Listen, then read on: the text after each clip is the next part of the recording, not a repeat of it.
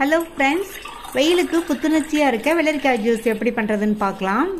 கால் kilo வெள்ளரிக்காயை மேல் தோலை சீவி இந்த மாதிரி கட் பண்ணி மிக்ஸி ஜாரில் சேர்த்துட்டு கொஞ்சமாக மிளகுத்தூள் கொஞ்சம் உப்பு வாசனைக்கு அஞ்சாறு புதினா இலைகள் கொஞ்சமாக தண்ணி சேர்த்து ரெண்டு மூணு சுற்று சுற்றிட்டு இது கூட ஜூஸுக்கு தேவையான அளவு தண்ணி பாதி எலுமிச்சம்பழத்தை நல்லா பிழிஞ்சு விட்டுட்டு மறுபடியும் நல்லா ஒரு நிமிஷத்துக்கு தொடர்ந்து அரைச்சி நல்லா மிக்ஸ் பண்ணி விட்டுட்டு வடிகட்டினோம்னா கிளியரான வெள்ளரிக்காய் ஜூஸ் கிடைச்சிரும்.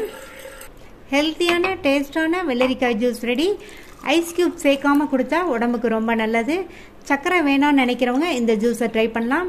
இதே மாதிரி நிறைய ரெசிபிஸ் பார்க்குறதுக்கு தமிழ் ஃபுட்கான சேனலை சப்ஸ்கிரைப் பண்ணி வச்சுக்கோங்க. தேங்க்யூ